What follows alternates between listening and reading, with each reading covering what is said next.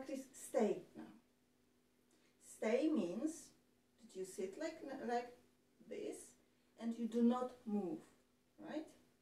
And to make it easy for you in the beginning, I will just make a small step.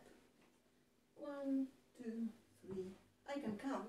Four, five, six, seven, eight.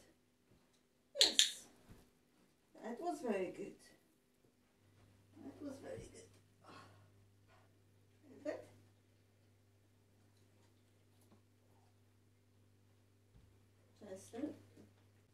Some time ago, it was far too much for you for me to move like that. So when I, when we started training, what have I done? Do you remember? I made one step back, one step towards you, mark and reward. Now you know the drill, so I can do a little bit more. What can I do? How much can I do? Let's see. Stay.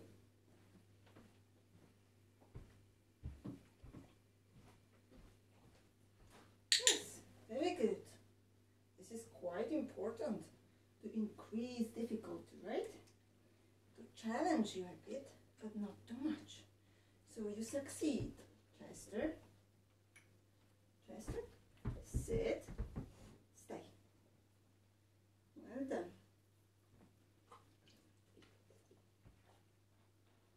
Well done. A difficulty part, difficult, difficult, difficult part will be now because I'm gonna leave the room and you stay. Stay.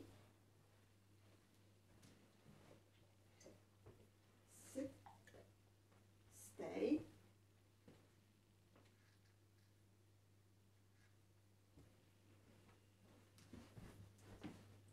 Yes. Except for Silky, who is the youngest. Good, Chester.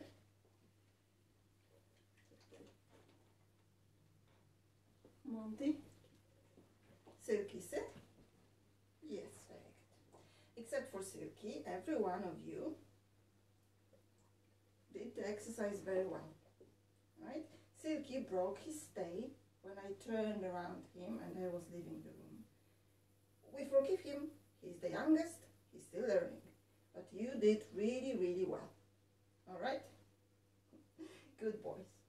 Um, that will be it for stay. Now we'll do something completely different.